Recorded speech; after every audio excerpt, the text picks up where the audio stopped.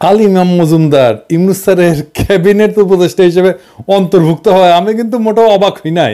বরং প্রথম দিনে ব্যাটা ঢুকতে কেন পারল না সেটা অবাক হওয়ার বিষয়। কারণ এই ইন্ডিয়ান ঘটিগুলা গিরগিটির চাইতে অস্বাভাবিক দ্রুততায় রং বদলাইতে পারে। ঘটি মানে বুঝেছেন তো সাতচল্লিশের পার্টিশনের পর ইন্ডিয়া থাকবার পারে নাই। ঘটি ভাটি নিয়ে সে পূর্ব পাকিস্তানে আসেছিল। এখনও সে পুরানা প্রেম চাগায় টাগায় ওঠে আর কি। ভাবতেছেন আমি সবার পিছনে লাগি, সুজন টিআইবির গুরুজন পত্রিকার পাথায় সকাল সন্ধ্যা নসিহত করে, ফক ফকা মাল আপাদ মস্তক সফেদ, এটা আবার কি করল? বাইরে সমস্যা তো এইখানেই। হাসিনা যে খানদানি জাউরা, এটা তো জানেন, এক জেনারেশনের না দুই জেনারেশনের জাউরা কান্দানি এই জন্য ওই মাতারি সবসময় তার জাউরামু লুকায় না, সামনাসামনি কয়ে দেয়। ছাত্রদের রাজাকার কইয়া ফেলায়, এর বাপ দেশ স্বাধীন করেছিল, এটা তার দেশ, এতে তার বাপ স্বাধীন করে দিছিল। বেশি কথা কইলে সব কিছু বন্ধ কইরা বসে থাকবে। হ্যাঁ ঠিক তেমনি আপনারা এখন এরাও জানেন যে ভাট হারুনের টুনটুনি সাইজ কত। কারণ হাউন আঙ্কেল এটা আমাদের দেখাই দিছে। সমস্যা হইল এইসব ঘাপটি মারা আলী ইমাম মজুমদার নিয়া। এর থেকে ওই হার্পিক মজুমদার ভালো। কথা অন্তত সামনাসামনি কয়, আর এই আলী ইমাম মজুমদারের হইল আস্তা শয়তান। এদের ওই টুনটুনির সাইজ কত সেটা আর সহজে বুঝতে পারবেন না। সেদিক দিয়ে এরা জবরসে আনা আমার তো আবার অভ্যাস খারাপ। আমার এক্স রে চোখ দিয়ে শুধু টুনটুনি সাইজ না, টুনটুনির লড়াচড়া সব দেখতে পারি। গাবের না এক্স রে দিয়ে শুধুমাত্র জাউরাদেরটাই দেখা যায়। আমার লক্ষ লক্ষ ভালো মানুষ দর্শক শ্রোতাদেরগুলা দেখা যায় না। আজ হঠাৎ এই সফেদ আলী ইমাম মজুমদারের টুনটুনি আমার এক্সের ধরা পড়িছে। দেখলাম ওইটা লড়তেছে খুব। তো কতখানি টুনটুনি সেটা আনা দেখাই আপনাদেরকে। কয়া দিই কারণ ওর ইতিহাসের পাতা উল্টা উল্টা দেখলাম যে ব্যাডা ওয়ান ইলেভেনের বিশ্ব জাউরা টিমের গোলকিপার ফখরুদ্দিন মঈনুদ্দিন সরকারের সময় একই সাথে ক্যাবিনেট সেক্রেটারি আর প্রধান উপদেষ্টার মুখ্য সচিব ছিল। দুইটা পদ একই সাথে ধরেছিল। দেখেছেন কত কামেল মানুষ। আমলাদের সবচেয়ে বড় দুইটা গুরুত্বপূর্ণ পদ একজন দখল করে ফেলছিল। ভাবতেছিল ওরা বাবার টুটুরিটা কত বড়। আমি দেখা দিতেছে টুটুরি এটাই শেষ না। ওস্তাদে আবার এক বছরের এক্সটেনশনের নিচে মক্কম সময় দুই সালের নির্বাচনে আওয়ামী লীগের অস্বাভাবিক ফলাফল আর বিএনপির তিরিশ সিট দেখে যারা অবাক হয়েছেন তারা অবাক হইয়েন না। এই আলী ইমাম মজুমদার আর আর ওর আর এক পীর এই ইমামের কদম মোবারকের সেবায় মাঠ পর্যায়ের পুরা প্রশাসন আওয়ামী লীগের জন্য সাজায় দিছিল। থামেন থামেন থামেন খাইনি শেষ হয় নাই। মুখ্য সচিব আর ক্যাবিনেট সেক্রেটারির দুইটা পদ একসাথে কবজা করছে, কেমনে কয়ে দিই? ওই টুনটুনির সাইজটা দেখে দিই হ্যাঁ। আসেন। এই আলী ইমাম মজুমদারের গ্রেডেশন লিস্ট আছে মানে সরকারি চাকরির গ্রেডেশন লিস্ট আছে। মানে পরীক্ষা, পরীক্ষায় আমরা যেমন ফার্স্ট সেকেন্ড হই না, উনকা করে গ্রেডেশন লিস্ট থাকে। তো গ্রেডেশন লিস্টে ওর নাম্বার কত ছিল জানেন? ছয়শো একত্রিশ। তো ওর উপরে ছিল আর একজন ক্যান্ডিডেট যে এটা হইতে হবার পারল নি। দুইশো চার নাম্বার তার নাম ছিল আবুল কাশেম। দুইশো পাঁচ নাম্বারে ছিল হেদায়তুল ইসলাম। এই দুইজনকে রাষ্ট্রদূত করে পাঠাইছে দুই দেশে ব্রুনাই আর ফিলিপাইনে। আর দুইশো বাইশ নম্বরে ছিল আবু সালাম চৌধুরী। ওদের প্রাইভেটাইজেশন বোর্ডের আঙুল চোষা পদে বদলি করে দিছে। আর এর সাথে আছে, ওর আগের ব্যাচের যারা সিনিয়র ছিল, তাদের তারা যেন পদোন্নতি না পায়, এটা বঞ্চিত করার জন্য দুনিয়ার বাইরের পদোন্নতি একটা নীতিমালা বানিয়েছিল বলছে, পদোন্নতি পাইতে সারা জীবনের এসিআরে ভালো নম্বর লাগবে। কারণ ওই শয়তানটা এটা এটা কয়ে দিই। ওই যে এসিআর, বার্ষিক গোপনীয় প্রতিবেদন, বুঝছাও? এই সরকারি কর্মচারীদের প্রত্যেকের একটা বার্ষিক গোপনীয় প্রতিবেদন থাকে। ওইখানে মার্কিং করা থাকে যে ক্যাঁ ক্যাঁকা কাজ করিছে, বুঝছাও? ওইটা এখন নম্বর দেওয়া থাকে। আর আগে এটা নম্বর দেওয়া থাকতো না এবিসিডি করা থাকতো, এখন কটা নম্বর দেওয়া ছিল। তো উই কইছে যে সারা জীবনে প্রমোশন পাইতে হইলে সারা জীবনে এসিআর এর নম্বর লাগবে। ও কিন্তু জানতো যে এর সাথে নম্বর দেওয়া ছিল না এবিসিডি ছিল। এইভাবে তার সিনিয়র শত শত যোগ্য কর্মকর্তার হাতে হারিকেন দাঁড়াইয়া বাড়ি পাঠাই দিছে। পরবর্তীতে হাইকোর্ট কিন্তু কইছিল যে এই নীতিমালা, পদোন্নতি নীতিমালা অবৈধ। আর এই পদোন্নতি নীতিমালা বানাইছিল এই হারামজাদা, আলী ইমাম মজুমদার। পরে কিন্তু হাইকোর্ট কইছিল যে এই নীতিমালা অবৈধ। আর অসৎ উদ্দেশ্যে করা, সেই জন্য বাতিল কইরা পদমর্যাদা ফিরাই দিতে বললেও ক্ষতি যা হওয়ার সেটা তো হয়ে গেছে। এখন আবার উপদেষ্টা হইয়া শেখ হাসিনার সচিবদের ত্রাণকর্তা গডফাদার হইয়া তাদের রক্ষার মিশনে শুধু নামে নেয়।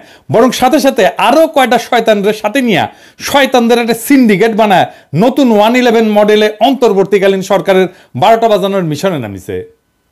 এবার আসেন এক এক করে কয়ে দিতেছি ওদের আকামের ফিরিস্তি।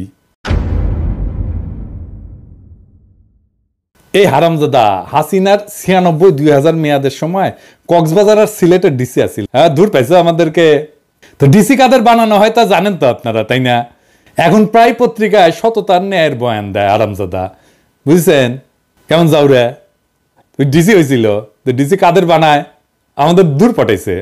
শুনতেছি ইমাম সাহেবের এক মুয়াজিন সোরা নুরুল ইসলাম, যাকে খালেদা সরকারের সময় দুর্নীতি আর গুরুত্বপূর্ণ সরকারি নথি ষড়যন্ত্রের নীলক্ষায় গোপনে কপি করার জন্যে প্রধানমন্ত্রী কার্যালয় থেকে লাথি মেরে বের করে দেওয়া হয়েছিল। তাকে দুদকের চেয়ারম্যান করার পায়তারা করতেছে কিন্তু এই এখন বানাবে ও। ইমাম সাহেব কইতেছে, তার জন্ম নাকি আবার পঞ্চাশ সালে। মনে হয় বয়স চুরি ভালোই শিখেছেন ইমাম সাহেব।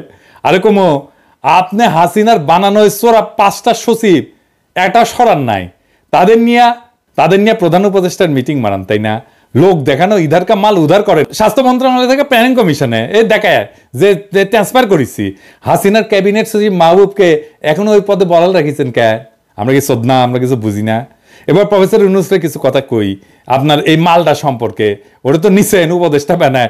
আপনার উপদেষ্টা হয়েছে আসে ওর সম্পর্কে জানেন, জানা লাগবি না। স্যার, আপনার কলে একটা দুর্নাম আছে। সিটাং হইলে আপনার আর কিছু দেখেন না নাকি? সত্য মিথ্যা জানি না। তো এই জাউরা কলে ঘটি, চট্টগ্রাম না। চট্টগ্রাম বিশ্ববিদ্যালয় থেকে পাশ করা ছাড়া আপনার কাছাকাছি হওয়ার আর কোনো যোগ্যতা নাই। আপনি যে বিশ্ববিদ্যালয়ের শিক্ষক ছিলেন এক সময় বিশ্বাস করেন স্যার, এই আরামজাদা ঘটি না সরাইলে ও বদমাইশ আপনার বারোটা বাজাইতে কোনো আকাম করা বাদ রাখবে না। ওই ইনকায় জাউরার জাউরা। হাসিনা তো দুই জেনারেশনের জাউরা ছিল, ওই এক জেনারেশনের জাউরা, কিন্তু এক জেনারেশনের জাউরা হাসিনার চেয়ে কম সরা না গেল এটা। ছয়জন নতুন সচিবকে এই সরকারের চুক্তিভিত্তিক নিয়োগ দিছে, যারা ওয়ান ইলেভেনের কুশীলভ এরা স্বরাষ্ট্র, স্বাস্থ্য, জনপ্রশাসন, শিক্ষা এবং যোগাযোগ সবকটা গুরুত্বপূর্ণ মন্ত্রণালয়ের সচিবের দায়িত্ব নিতেছে একে একে। এই প্রক্রিয়ার অংশ হিসেবে, বিশেষ কেস হিসেবে দাপ্তরিক দুর্নীতির জন্য প্রধানমন্ত্রীর কার্যালয় থেকে বহিষ্কৃত অবসরপ্রাপ্ত অতিরিক্ত সচিব নুরুল ইসলামকে তার গুরু ভারত ভূমিতে জন্ম নেওয়ার সন্তান আলী ইমাম মজুমদার ইতিমধ্যেই সচিব পদে পদোন্নতি দিছে এবং তাকে সকল আর্থিক সুবিধা সহ জনপ্রশাসন মন্ত্রণালয়ে সংযুক্ত ছিলেন বইলা দেখানো হইতেছে। মানে এই যে এই এই নুরুল ইসলাম অতিরিক্ত সচিব হিসেবে অবসর নিয়েছিল। কিন্তু আমাদের মনে করতে হবে যে অবসরের আড়াই বছর আগেই সে সচিব হয়েছে মনে করতে হবে। হ্যাঁ ওই যে শেখ মুজিব যেমন হয়েছিল মনে করতে হবে সে নির্বাচিত, বুঝছাও? এবং ওই জন্য শুধু এটা না, এই জন্য পাওনা, বেতন টেতন সব দিতে হবে, চমৎকার। এটা কেবল শুরু। এবার আলী ইমাম মজুমদার নুরুল ইসলামকে দুদকের চেয়ারম্যান বানাবে। ইউনিসারের দুর্পুন বুঝায়, যে নুরুল ইসলাম এত সাচ্চা যে প্রধানমন্ত্রী সচিব বলে থেকেও সে সরকারের বিরুদ্ধে অবস্থান নিতে পারে, সেই কারণে সে সেখান থেকে বিতাড়িত হয়েছিল কিন্তু সত্যি হইল এই নুরুল ইসলাম সরকারের গোপনীয় আর রাষ্ট্রীয় স্পর্শকাতর ফাইল কপি কইরা জায়গা মতো পৌঁছাইতো।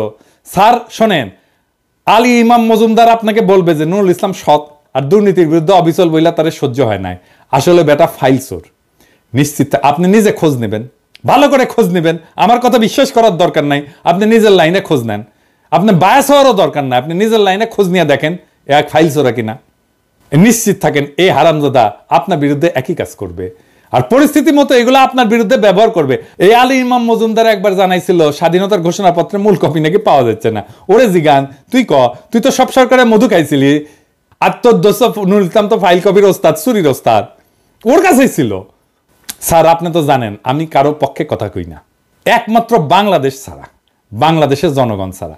আপনারে কই এক সেকেন্ড নষ্ট, সময় নষ্ট না করে আলী ইমাম মজুমদার নুরুল ইসলাম আর ফজলুর রহমানদের এই মুহূর্তে বিদায় দেন পাশায় লাথি দিয়া। বেশি দেরি করলে কিন্তু সর্বনাশ হয়ে যাবে। আপনি তো নিজের জীবন দিয়া দেখছেন। আমলারা কীভাবে আপনাকে টাকা পাচার, গরিবের হক মারা আর সুদখোর হিসাবে প্রতিষ্ঠিত করতে হাসিনারে সহায়তা করছে? আপনার বিরুদ্ধে মামলার ফাইলকে রেডি করছে? এ আমলারা তো রেডি করছে না। আপনার ভুল করার বা ব্যর্থ হওয়ার কিন্তু কোনো সুযোগ নাই, স্যার। আপনার ভুলে আমরা সবাই শেষ হয়ে যাব। দেশে অনেক ভালো মানুষ আছে। দেশে অনেক দক্ষ প্রশাসক আছে। দেশে অনেক দক্ষ আমলা আছে। এই গিরগিটিগুলা আপনার কাছে না থাকলে কিচ্ছু হবে না, আপনি নিশ্চিত থাকেন। এই আলী ইমাম মজুমদার নুরুল ইসলামের আধ্যাত্মিক গুরু সাবেক সিএসপি মোহাম্মদ ফজলুর রহমানকে শিষ্য, ইমাম ইতিমধ্যে জনতা ব্যাংকের চেয়ারম্যান বানাইছে। তো ইউনুস স্যার, আপনি কার পরামর্শে আলী মজুমদারকে আপনার ঘনিষ্ঠ সহজর বানাইছেন জানি না। তবে আমার এই ক্ষুদ্র বুদ্ধিতে যা বুঝি, এই আলী ইমাম মজুমদার নুরুল ইসলাম যদি মঞ্চে থাকে আর পিছনে যদি চাণক্য ফজলুর রহমান ডাইরেকশন মারে, তাইলে কলে গমারা সারা। অচিরেই কাশিম বাজার কুটি ষড়যন্ত্রের রিমেক এই বাংলাদেশে দেখতে পাবেন। তখন আপনি কইবেন সিরাজদৌল্লার মতো কে দেবে আশা, কে দেবে ভরসা? বইলা পথে পথে ভরসা খুঁজে ফিরবেন। কিন্তু দেখবেন, আপনার সাচ্চা ভরসা দেওয়ার আসল রহিমুদ্দিন ভরসারা পৃথিবী থেকে চলে গেছে, নাই হয়ে গেছে। তো আলী ইমাম মজুমদারের টুনটুনি দেখা শেষ হয় নাই, ওর টুনটুনি আরও কিছু দেখে নেই। আলী ইমাম সাহেব, আপনি খুব ভদ্রলোক সাজেন, তাই না? সুশীল সাজেন। পত্রিকার লেখালেখি করেন। পত্রপত্রিকা আপনার ভাষা আর আওয়ামী লীগের ভাষার মধ্যে তো কোনো পার্থক্য নাই। আপনি লেখেন দুই হাজার চব্বিশের নির্বাচন সাংবিধানিক বাধ্যবাধকতা। লেখেন নির্বাচন এলেই ওরা বর্জন করে। বাণী দেন, নির্বাচনের মাঠ ছেড়ে দেওয়া ঠিক হয় নাই। ইউনু স্যার, আমি মুক্ত বাংলাদেশে আলী ইমামের মতো আওয়ামী পাঁচ আটার জায়গা আপনার পাশে। এই কষ্ট আপনি আমাদের দিতে পারলেন, স্যার। আর আপনি কেন হঠাৎ হাসিনার বানানো সচিবদের সাথে মিটিং করলেন, বুঝলাম না। পরামর্শটা যে আলী ইমামের, সেটা বুঝতে পণ্ডিত হওয়ার দরকার নাই। তবে একটা উপকার আমার হয়েছে। ছবির একটা ফ্রেমে বদমাইশগুলোর একসাথে দেখার সুযোগ পেয়েছি। লক্ষ্য করলাম সবাই খুব রিল্যাক্স চেহারায় কোনো টেনশন নেই, আপনার দিকে তাকায়ও নাই। কেউ কেউ ডাইনে বায়ে কাজুয়ালি তাকাইতেছে, কেউ কলম নড়াচড়া করিচ্ছে। কারণ একটাই, ওরা জানে আলী ইমাম তাদের আসল হুজুর, আপনি কিছুই না। ইমাম সাহেব যদি বলেন, নো চিন্তা তাইলে ওরা সিরিয়াসলি আপনার কথা শোনার প্রয়োজন মনে করবে কেন? স্যার, আপনি কি ভুলে গেছেন? যখন সারা বাংলাদেশ, হাসিনা পুলিশ লীগ আর তার অঙ্গ সংগঠনগুলা টার্গেট কইরা ছাত্র জনতাকে নির্বিচারে হত্যা করে চলতেছিল, তখন ওই হারামজাদাগুলো ছিল নির্বিকার। পর্দানসীন গৃহবধূ স্কুটিতে কইরা পানি পয়সা দিছে তৃষ্ণার্ত ছাত্র জনতার কাছে। গুলি আর প্রাণ হারানোর আশঙ্কার তোয়াক্কা না করে তখন এই জানোয়ারগুলো এয়ার কন্ডিশন ড্রয়িং রুমে বসে এক জাউরা আর এক জাউরার কাছে মোবাইলে খোঁজ নিছে। নেত্রী কতদূর সামলাইলো? প্রণয় ভার্মার সাথে কি কথা হইল? যখন আমার বস্তিবাসী বোন গুলির বৃষ্টি উপেক্ষা করিয়া আন্দোলনরত ছাত্র জনতার কাছে অতি সামান্য কাঁঠালের কোয়া পৌঁছাইতে মরিয়া হইছে তখন এই সমস্ত বাইঞ্চোদ্দের এক একজন আর একজনকে আশ্বাস দিছে, নেত্রী সব ঠিক করে ফেলাবে। নাকে তেল দিয়া ঘুমাও, যেমন বলছিল নির্বাচন কমিশন সচিব কালা জাহাঙ্গীর। বোতল কামালের যখন পুলিশের এডিসি মোবাইল স্ক্রিনে দেখায়, কয় এডা মরলে একটা পরে বাকিতে যায় না।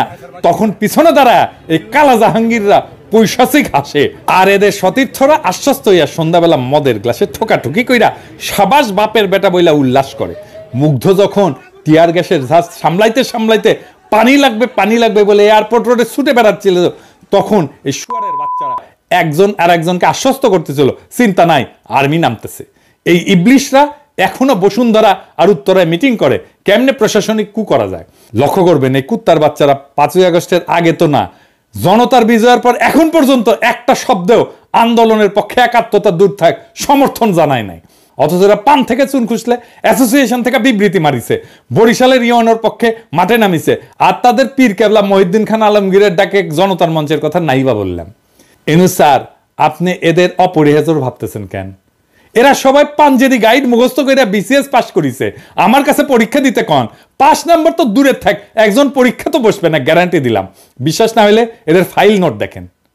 সহকারী সচিব যার নোট দিছে এরা কোনোদিন সই ছাড়া আর কোনো মতামত দিতে, দিছে কিনা? মতামত দিতে পারছে কিনা? বড় জোর ফাইল ফেরত দিয়ে বলছে, আলোচনা করুন অথবা আলমারিতে লুকায় রাখছে। যেমন রাখছে পূর্বাচলে হাসিনা, রেহানা, জয়, পুতুল, ববির ষাট কাঠার প্লটের ফাইল ওই রকম এরা কি দেশের স্বার্থ দেখছে কোনোদিন? এরা কি পদ্মা সেতু রেল সংযোগ ঠেকাইছে? এরা ট্রানজিট ঠেকাইছে? এরা বন্ধ করছে কর্ণফুলি টানেল, রূপপুর পারমাণবিক বিদ্যুৎ কেন্দ্র? এরা সবাই তো বহাল, কেউ পূর্ত। কেউ জ্বালানি, কেউ যোগাযোগ, কেউ বিজ্ঞান প্রযুক্তিতে। এই হাসিনার জাউরা প্রেতাত্মাদের নিয়ে আমাদের চলতে হবে কেন? এদের আমরা যতই তালে বড় ভাবি না কেন, এগুলোর ভিতরে ফক্কা কিছু নাই। তাই এরা যখন ইন্ডিয়ার সাথে দ্বিপাক্ষিক আলোচনা করে, তখন বোঝা যায় এরা মাল কেমন। আপনি কোন একটা ভিডিও করে দেখবেন এরা কি আলোচনা করে। এরা কোনোদিন পারছে আলোচনায় ওদের থেকে আগায় থাকতে, পারছে আমাদের স্বার্থ রক্ষা করতে পারেনি। আর পারেনি বইলাই ইন্ডিয়া আমাদের মংলা নেয়। নেয় রেল করিডোর শুল্ক না দিয়ে জাহাজ গাড়ি পার করে আর গান্ডুদের মাথায় হাত বলে পদ্মায় পঁয়তাল্লিশ হাজার কোটি টাকার রেল প্রজেক্ট ঢুকায়। এই চোরদের ইতিহাস দেখেন, এই ফৈনির পোলাদের দেশে বিদেশে আজ জমি ফ্ল্যাট টাকা গুইনা শেষ করা যায় না। এদের দেশে বিদেশের সম্পদের হিসাব দিতে বলেন। ঠিকঠাক আমি গ্যারান্টি দিয়ে করতেছি এদের সবাই দাড়ি গোপ কামায়া ডায়পার পয়রা ভাগবে, কারণ এরা তো আমাদের মতো রাস্তার লোক না। রিমান্ডের সহ্য করার ক্ষমতা এদের নাই। এরা সুতিয়া বইলাই আলী ইমাম মজুমদার নুল ইসলামদের গুরু মানে। সোরারদির বডিগার্ড শেখ মুজিবর মুক্তিযুদ্ধ দেখে নাই, তাই মুক্তিযুদ্ধ অনুভব করার মতো মেধা তার ছিল না। আপনি চূড়ান্ত বিজয়ের সময় দেশে ছিলেন না, কিন্তু আমি জানি আপনি কি করছেন। আপনি প্রত্যেকটা মুহূর্তের জন্য যুক্ত ছিলেন। আপনি প্রত্যেকটা মুহূর্তে চেষ্টা করছেন যেন আরও রক্তপাত না হয়। আপনি প্রত্যেকটা মুহূর্ত চেষ্টা করছেন যেন এই জালেম পরাজিত হয়। এটা বাংলাদেশের মানুষ কয়জন জানে জানি না। আমি নিজে জানি।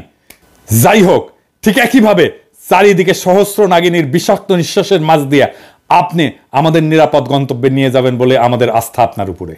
আপনি আমাদের নিরাশ করবেন না। আপনার ভয় কি, স্যার? অজেয় বীর ছাত্ররা আপনার সাথে আছে। আর তার সাথে আছে আঠারো কোটি জনতা। কাঁধে কাঁধ মিলিয়ে দাঁড়ায় যাব আপনি ডাকলি। আর যদি আপনিও আলী ইমামদের ফাঁদে ইন্দুর হইয়া যান, আর আলী ইমাম নুরুল ইসলাম ফজলুর রহমান প্রশ্নে থাইকা যাওয়া হাসিনার জাউরারা যদি নিজেদেরকে ইঁদুর মারা বিড়াল মনে করে, তাইলে ওই ইঁদুর মারা বিড়ালরা শুনে রাখো। বিড়াল বাঘের মামা মনে কইরা ফাল পারতে পারে, কিন্তু এদের জন্যে বাঘের আব্বা জানে খাবার দরকার নাই হুঙ্কারি যথেষ্ট। ছোট একটা মারলেই বেজম্মার গোষ্ঠীর অ্যাডাল্ট ডায়াপার ফাইটা সব গুপ বাড়ায়া যাবে, টেরও পাবে না। আলিমাম তোমার জান আমি কালা কালা কইরা দেব। প্রমিজ, নিজে থেকে ভাইগা গেলে ছেড়ে দেব। কিন্তু গার পেলি করলে ইনকা গালি খাবা, যে এর চাইতে হোগা গুলিস্তানের কামান নিলে কম কষ্ট হইতো মনে হবে। জানো তো, বাঘে চুলে আঠারো খা ঠোলায় চুলে ছত্রিশ খা আর পিনাকি চুলে জয় বাংলা।